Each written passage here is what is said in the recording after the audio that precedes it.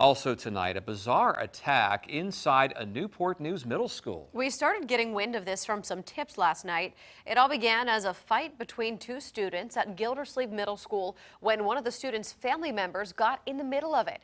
Now a woman is under arrest and police had to step up patrols this morning because of it. 10 on your sides, Michelle Wolf has this for us tonight.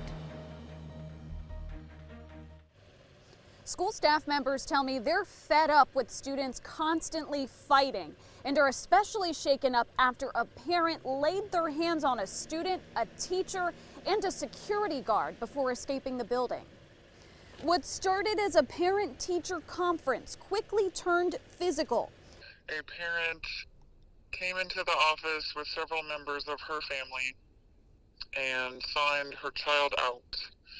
And then instead of leaving the building, went into the cafeteria where she and her child and the family members assaulted another student. That Gildersleeve Middle School employee didn't want to reveal her identity, but she tells 10 on your side that a teacher and security guard who tried to break up the fight were shoved by the parent.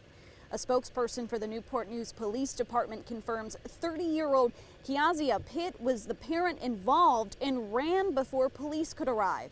The employee also told me at the time of the fight there was no school resource officer in the building or administrator monitoring lunch. With no SRO, we have no ability to even handle that. It is disturbing because half of the eighth grade was in the cafeteria. Court records show Pitt has a history of criminal and traffic charges dating back to 2012, including theft, assault and battery, and a May 2021 charge for malicious wounding they definitely instigated because they went out of their way to go into the cafeteria instead of exiting the building. We're told the teacher and security guard are back at work. The students involved have been punished per the school's code of conduct.